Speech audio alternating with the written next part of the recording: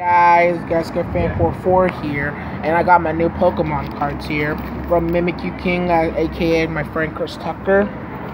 And now I'm gonna show you them. So I got Licky, Licky King, Carvi, Caravine. If you can't see it properly, sorry it's dark. Um, Marshadow, and Gumshoos. I got all three of these cards. I got all these cards, but by Marshadow, my friend Chris Tucker gave that to me, and I got this out of this pack here. So yeah, I got it out of this pack. That's where I got from. Then I got this code card here, which I'm gonna start playing the online code card game because every time I need to catch up, shoot the pack. Need this.